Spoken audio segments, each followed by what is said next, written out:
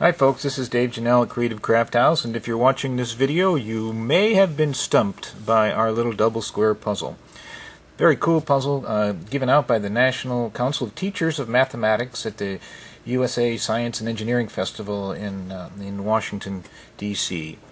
Alright, so your first goal was to make a four, take four of the pieces and make a square. And I would guess that most of you were able to do this successfully. Let me demonstrate that.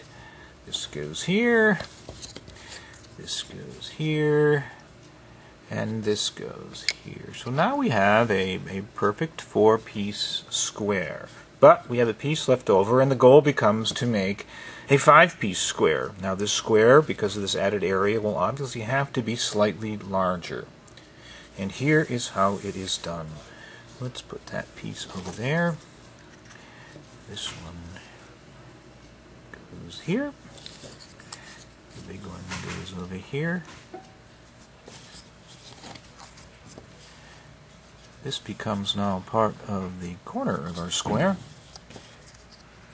And the small triangle goes in like so. And voila, we have a, another perfect square using all five pieces.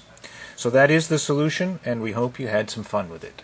Thanks very much. This is Dave from Creative Crafthouse.